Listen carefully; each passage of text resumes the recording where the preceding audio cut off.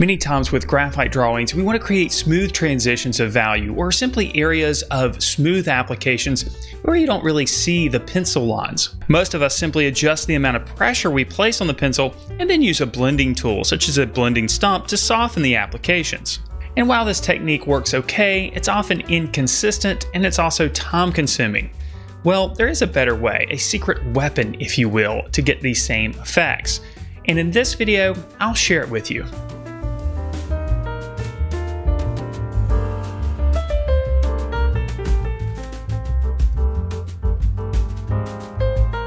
Hello there everyone, Matt here with thevirtualinstructor.com and in this video I'll share with you a form of graphite that you may not have heard of before that may dramatically change the way that you approach pencil drawing. Now this interesting form of graphite is called powdered graphite.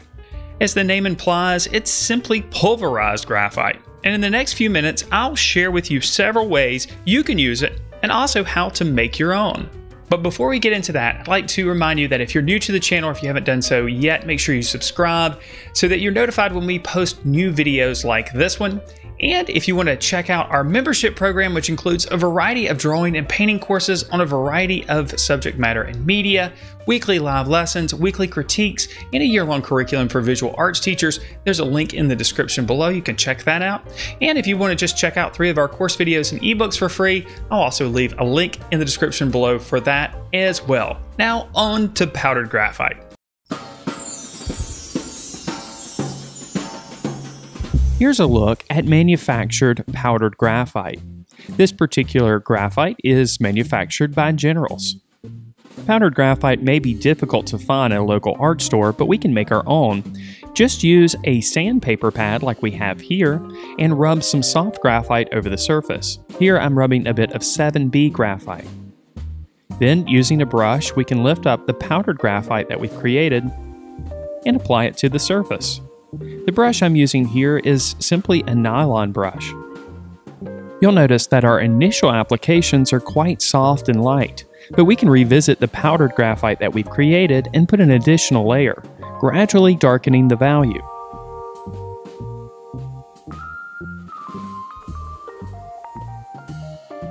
If you choose to use the manufactured powdered graphite, it's best to put it in a smaller container. Here I'm using the lid from the container that contained the powdered graphite. Again, we can use the brush to apply it to the surface. As we rub the brush over the surface, less of the graphite remains in the brush, making a lighter mark. Here we can create a quick value scale. We can keep revisiting the powdered graphite and adding additional applications to make the value slightly darker.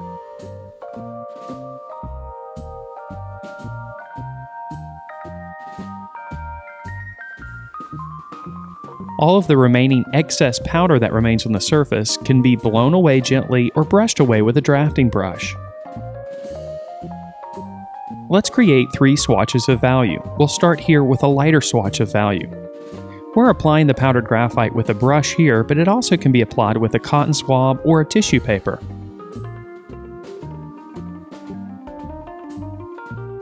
Next, we'll create a slightly darker swatch of value.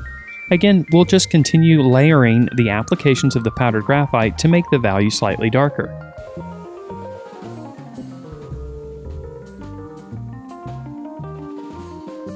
Now we'll make a third swatch, and again, we'll make this one slightly darker than the last.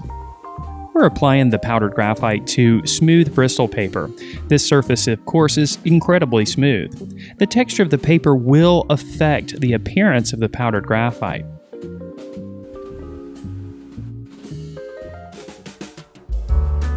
One way that you might choose to use powder graphite is somewhat like a painting technique, if you will. In this particular case, you can see I've sketched out the contour lines of the subject, this dog, and I'm working here on smooth Bristol paper. In this particular drawing, I'm adding the powdered graphite much like I would in a painting. I'm just adding bits of value. And if I need a darker value, of course, I apply more layers of the powdered graphite to the surface. Now, of course, this is an incredibly smooth surface, so you can see some of the powdered graphite collecting in areas. Then over the top of my, we'll call it an underpainting with powdered graphite, I can apply pencil marks with a traditional pencil. In this case, I'm applying the graphite using both a traditional wooden encased pencil and also a lead holder. And here's a look at the finished drawing.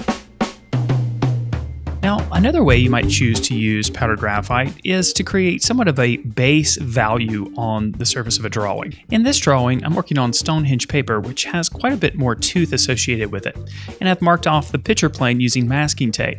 I've again drawn the subject using just the contour lines, and I'm applying the powdered graphite this time with a mop brush but this time I'm applying it over the entire surface. So I'm basically toning or tinning the paper.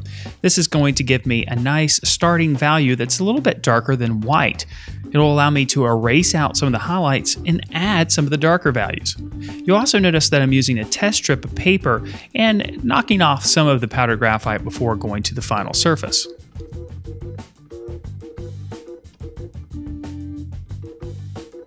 In this particular case, I'm using a blending stump to work this powder graphite into the surface so that the value is a little bit darker and more consistent.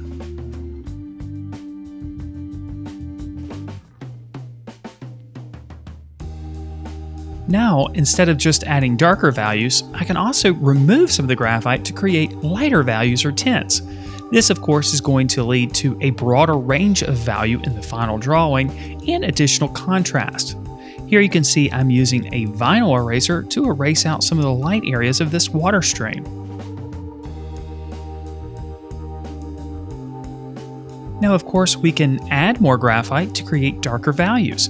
Essentially we can push and pull the values, adding lighter values by erasing and adding darker values by adding additional graphite.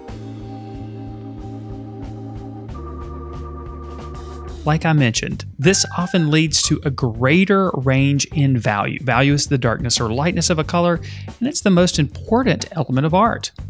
By starting with just a little bit of powdered graphite on the surface, we initially start with a gray instead of a white. This helps us create a full range of value in the drawing, which leads to a greater illusion of realism.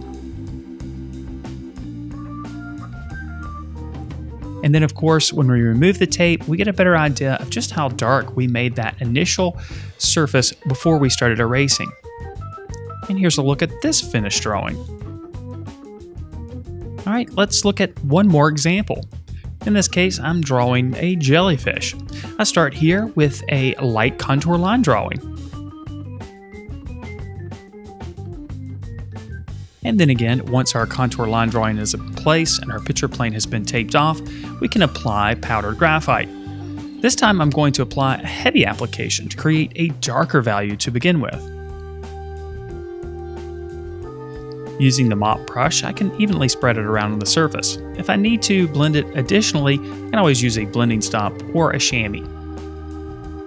Now I'll reinforce my lines using a pencil and then it's time to start using the eraser and the pencil to create that full range of value. Here we're starting with a value that's closer to the middle of the value scale. This again will lead to a greater illusion of realism thanks to a broader range of value.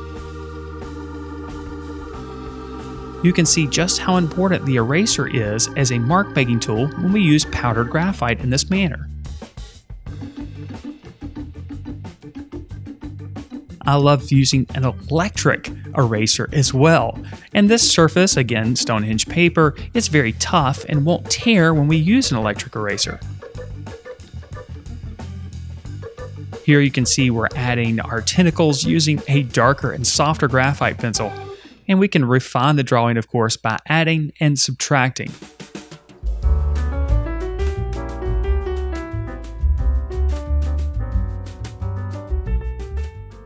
And then again, when the drawing is complete, we can carefully remove the tape away, revealing a nice sharp border. And here's a look at this finished drawing with powdered graphite.